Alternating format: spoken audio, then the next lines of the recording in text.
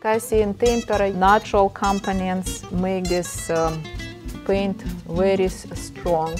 When you start to work with casein tempera, you find out pigment so strong it's very difficult to clean your brush.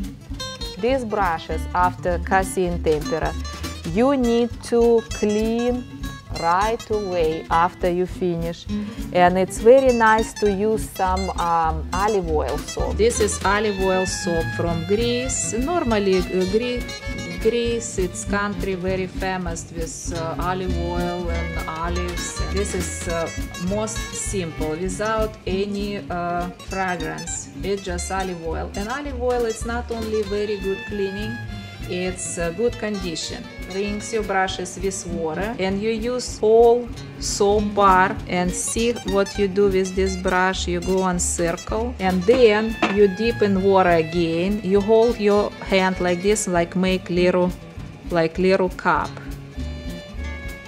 And you clean brush like this because when you clean this way, you pull out pigment from connection. You pull out pigment inside this uh, metal tube. You pick up more soap. You pick up more soap and you clean. See, you see how much pigments inside.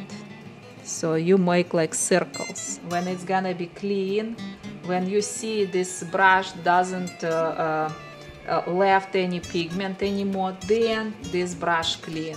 Best way, sure, uh, hold your brushes, have some um, brush holder like this, because in this position, your brush always gonna be in perfect shape. But if you put soap and you already create this shape, you just can put in uh, any brush holder, any cup, whatever you use for your brushes. Just make your life more simple. It's really safe uh, your brush and prolong time, a lifetime for your brushes.